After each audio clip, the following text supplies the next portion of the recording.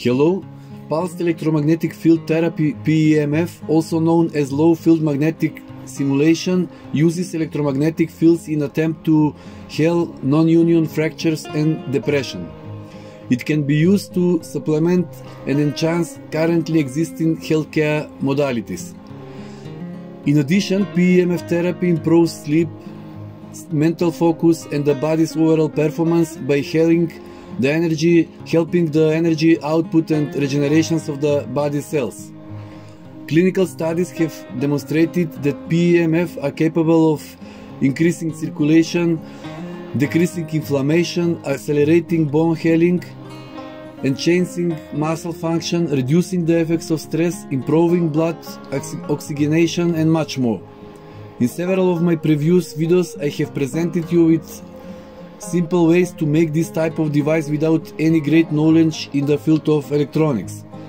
Commercial such devices are sold at a price of several hundred to thousands of dollars so, so my goal is to make the simple to build and functional device available to more people who cannot afford it. This time I will show you a simple way to make a high power PEMF device which gives a magnetic flux density that is about 10 times stronger that of previous devices. Uh, there are two options for building such a device. First, uh, increase the supply voltage to approximately 50 to 70 volts and a current of 3 to 5 amperes, thereby increasing the ohmic resistance of the coil.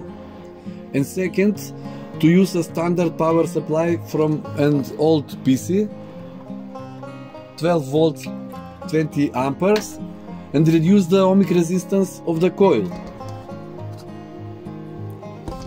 The first way is impractical due to the fact that it uses a non-standard power supply that is difficult to obtain. The schematic diagram would be much more complicated due to the use of two voltage reg regulators and also a voltage of 70 volts and more is potentially dangerous. Uh, the second way has none of these disadvantages. It is easier to make and uses components that are much easier to obtain. The device is very simple to build and contains the following components. First, PWM signal generator module, ZK PP1K, also you can use any of the signal generators mod generator models used in my previous PEMF projects. Uh, next, 8 pieces cheap n-channel power MOSFET transistor transistors, in my case P50N06 but you can use any other MOSFET with similar characteristics. You can get 10 pieces uh, at price of $2 in total. Next, 10 kilo ohm potentiometer, uh, 8 pieces resistors of 100 ohms 3 ampere diode uh, next power supply unit from old PC I use this power supply unit from server PC but you can use a standard power supply unit from old home PC and the coil that generates the magnetic flux The MOSFETs are mounted on a sufficiently massive aluminum cooler without isolation because the drain electrodes of each transistor are interconnected. The interconnections should be made with a suitable wires with a cross section of length 2.5 millimeters because a very strong current flows through them. Special attention should be should be paid to the construction of the coils because because the MOSFET can burn very easily. That's why I made uh, detailed drawings with the dimensions of the coils and the wire. Of course coils with other dimensions can be made but some conditions must be met. Uh, the cross section of the wire must not be less than 1 millimeter. Next, the ohmic resistance of the coil must not be less than 0.5 ohms. Uh, and last, the inductance the inductance of the coil should not be less than 0.5 millihenry. And now let's see how the device works in reality.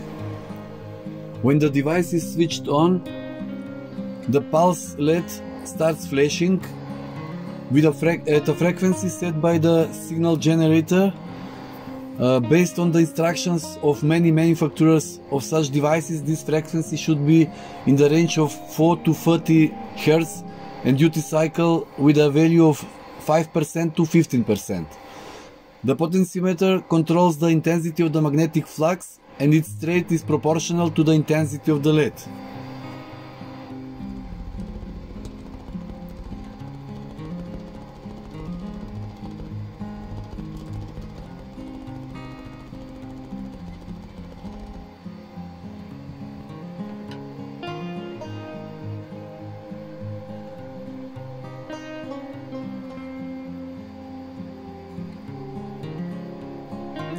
Let me mention that uh, after several hours of work uh, the coil and the transistor remains cold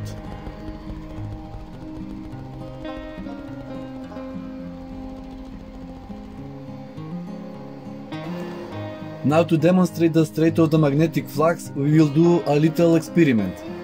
Uh, we pass a small permanent magnet through the torus. Under the action of a strong magnetic field, the magnet is cracked by the coil. This effect is used in the device called coil gun.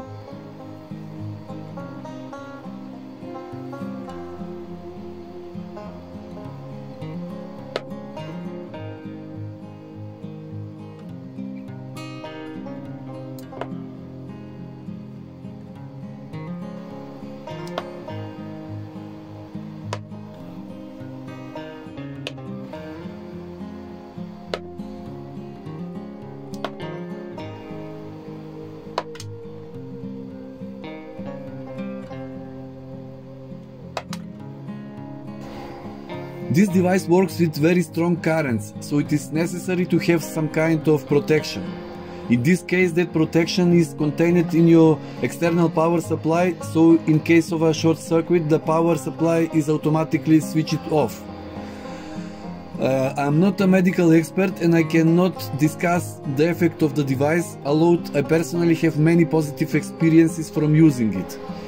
I can also say with certainty that low frequency magnetic fields definitely have no have no negative impact except in people where it is contraindicated.